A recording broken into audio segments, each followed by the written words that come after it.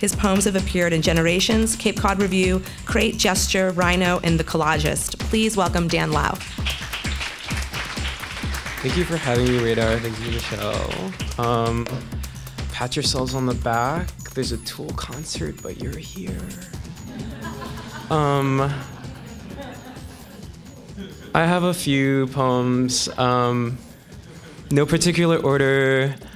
I'm kind of like in a disjunctive mood, so I don't know what's gonna happen. You know. Um, the first one is titled okay, "Technology." Uh, Almost Thistle. Proposition. Utter love, utter wings, utter anything but what you're about to say. Stop.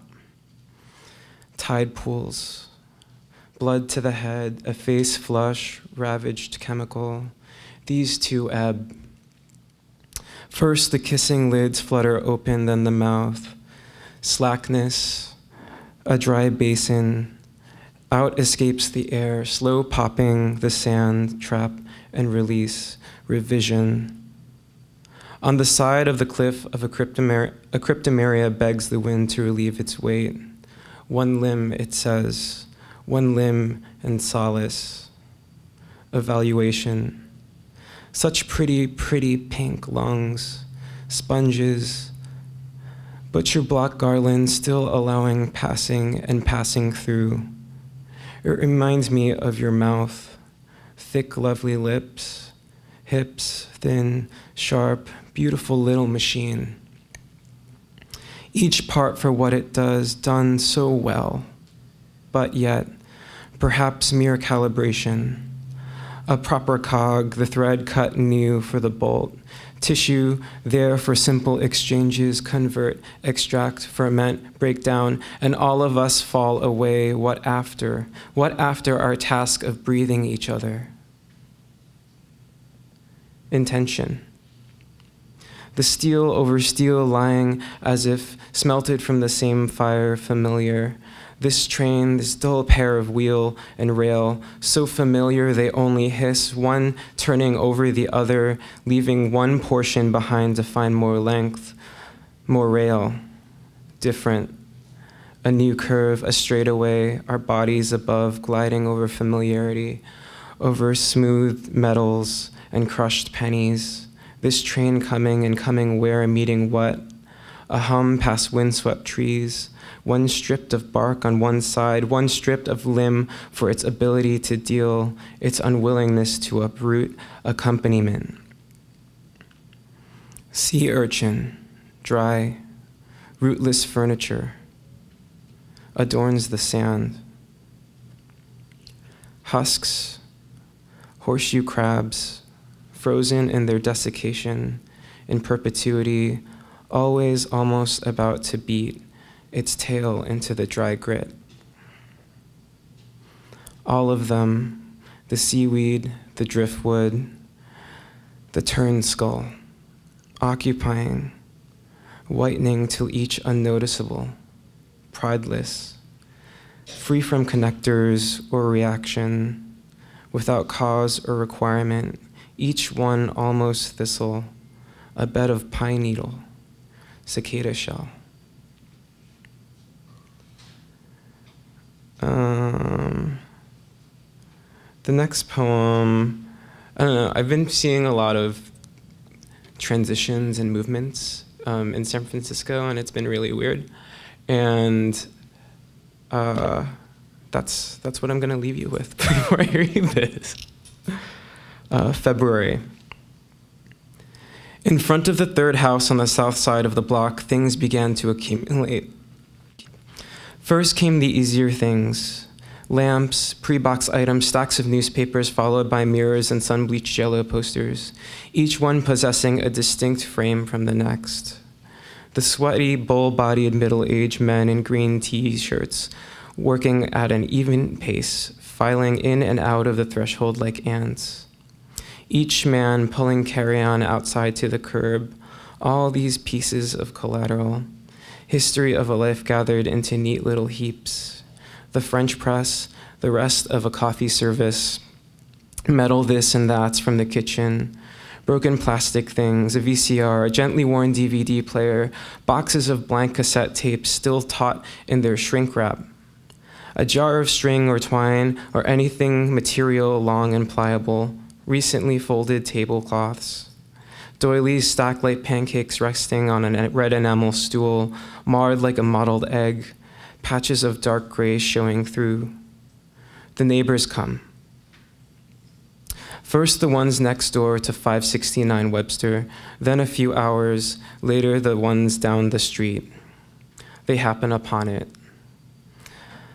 Mounds of plastic, the regal wood, their eyes follow the men trailing in from where they've never been and out to what they've known. They've taken down the wreath and placed it next to the wreath that year. The tenant decided to go plastic. What a juxtaposition. The skin of the place removed now, they begin to pull the furniture. First, four, no five green leather armchairs, scaled from age, meet new ear. The dining set, first the leaves come, then the pedestal table with the long gouge as if someone struck it with a fire poker. Vases from the bookshelf, the books bundled with rough, tawny twine. Gifts Soon others come and ask the same question, ask, ask, the same question neighbors asked before when the men responded just doing their job. The same job they do once a month, if not more. The passerby start to mill, start to ask more questions. The comments, we barely saw him in the daylight. Now, what'll happen after you're done? The bookshelves come out, each one steadily painted a forest green poplar, popular in the 60s. The last one, a simple IKEA model with birch veneer and an obscure name. Side tables, the mattress, the box spring, the bed, a headboard, the post, carved mahogany pine cone finials come out, bobbing rakishly over one man's right shoulder. The garage was last. Old empty wine bottles, fishing poles crates and crates of nothing, cans of fruit cocktail.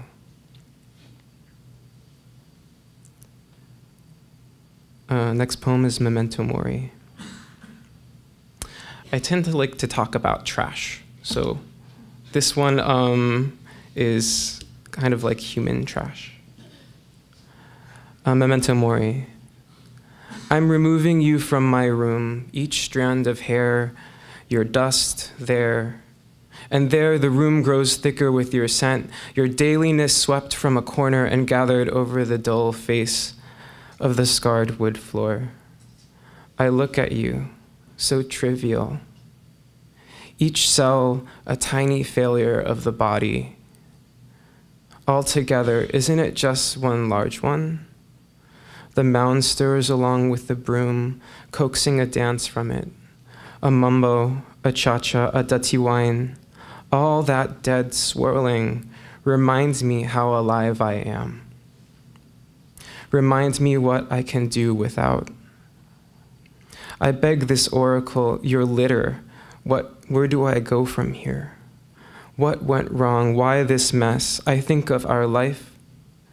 The windows left open, open, the coffee left on, mid afternoon strolls by shop windows filled with promises. Just like that, your body next to me like a silk bow around an empty box under a tinsel laden tree. I counted it as an idea of generosity. But the idea is a presence that I bear with rather than enjoy. Yet I bid the thought of you stay, and still the detritus, the glass table in the kitchen blooming, cracks in the shape of a dahlia. Better alone, no more shoes thrown across the room, nothing but clean, nothing but empty. Uh, and now dreaming, somnambulist. In my dreams when I was a child, he would come to me dressed in a white tuxedo. He would bring me to lakes and we would smile at one another, knowing what we know, knowing how we feel, how genuine and rich our lives have become, knowing each other on all these lakes. And one time in Hangzhou, we waved at all the passers-by from our private ferry to the island, and I turned to him as the wind rose, ready and willing to submit in my way. And I know that his mouth slightly agape signals to me the desire to present the full brass of his voice, a symbol of his dedication, and I cannot let him speak.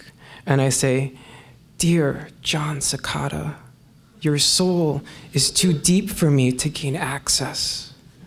Yet I am intrigued by your mystery, and without this mystery, I would not find you so profound.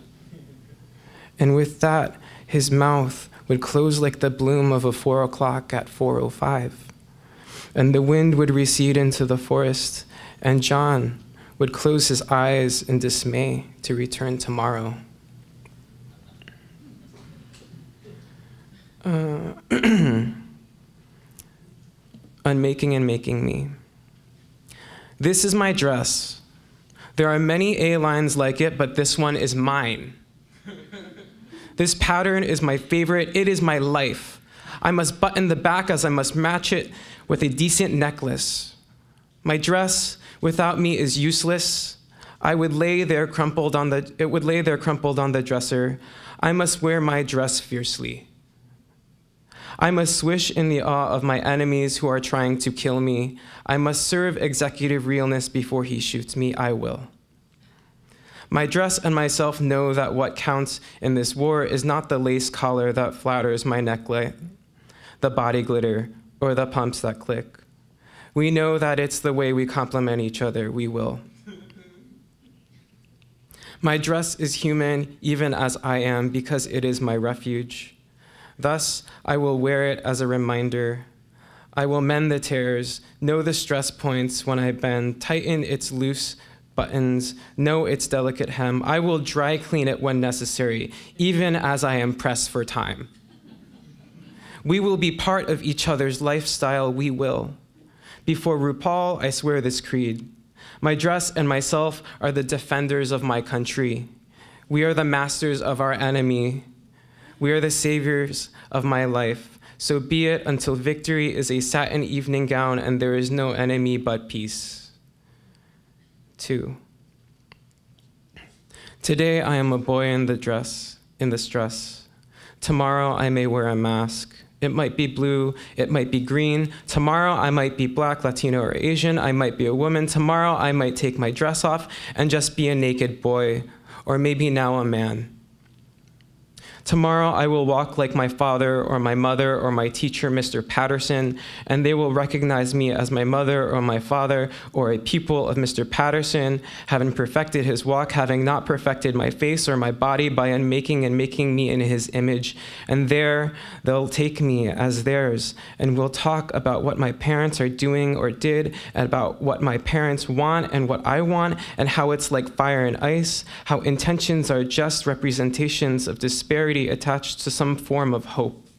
And there, around the fireplace, we will talk about art and what contemporary art is doing and wonder what place or shape we will find it in the next time we enter a gallery, or better yet, a new museum dedicated to extremes and aesthetics.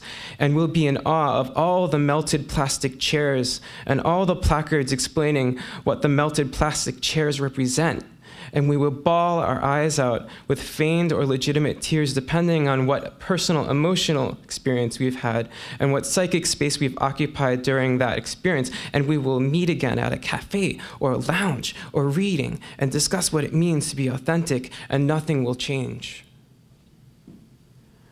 And this is a new poem, um, my last poem. It's called Molt. The aux cord lays its neck on the table. The nylon gym bag does its last shift in the chair. This is the sound of everything softening into the night. One dry purple bloom decides to relinquish its tie to the orchid stem. The latest piece of meat turns in the belly and whimpers its last high whimper until it's transformed into something different come morning. Another swig of kombucha, and it'll sound even less. Every day, another dull sound echoes from an empty corner of the flat. Another piece of material refuses to sustain its own weight.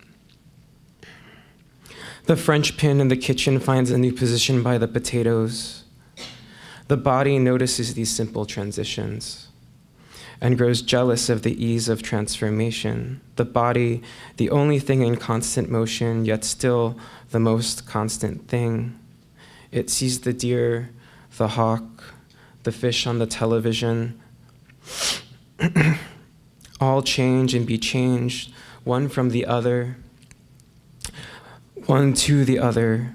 It watches the phantom breath of a fish anew in the bear, the rabbit shiver in the clutches of the hawk, and the deer, belly full of wild greens, and neck stretched smooth like poplar trunks, and the body, the body sallow weighted and in repose responds to the dark of transition within the neat, comely room and calls to the blinking television with wide eyes, Please, God, gut me and make me new.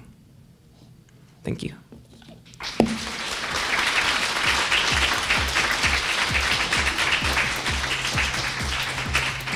Thank you, Dan Lau. That was great.